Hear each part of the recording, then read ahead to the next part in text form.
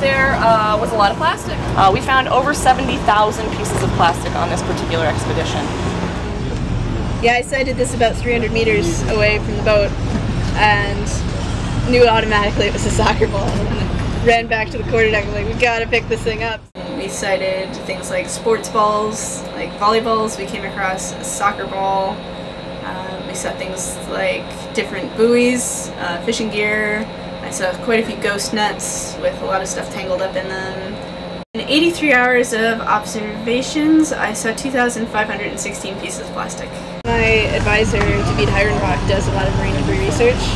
He focuses primarily on seabirds ingestion of plastic.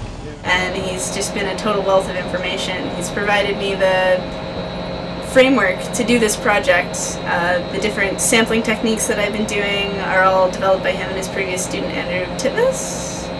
And uh, the model, I think the statistical model I'll be plugging all of my numbers into is also something that he developed.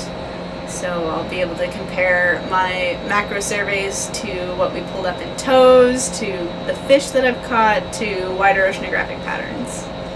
Yes, it's really depressing. There's loads of plastic out in the ocean, but we can get the word out. We can educate people that it's there and that the only way to deal with it is for people to realize that it's there and modify their, their behaviors, their way of thinking of how we handle plastic. It's a really important resource for a lot of things, but we need to eliminate things like single-use objects, the stuff we just throw away.